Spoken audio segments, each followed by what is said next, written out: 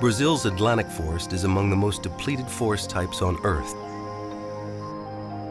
At one time, it was twice the size of Texas, but today, only 7% of the Atlantic forest remains, much of it in isolated fragments. But hope for its resurrection lies in the hands of local people, like Carlinhos Pinheiro. Some tenho time ago, I didn't have the goal I have today. That is, to protect nature. Before, I destroyed things. Not anymore. Today, with this job, I've learned to love nature. Eu aprendi a amar a natureza.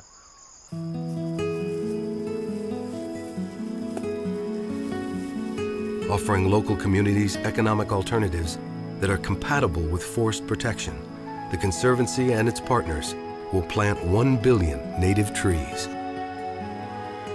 By protecting and rebuilding 30 million acres, we will put the Atlantic forest on a path to recovery. And will fulfill equally ambitious goals in forests from Papua New Guinea to the Appalachian Mountains.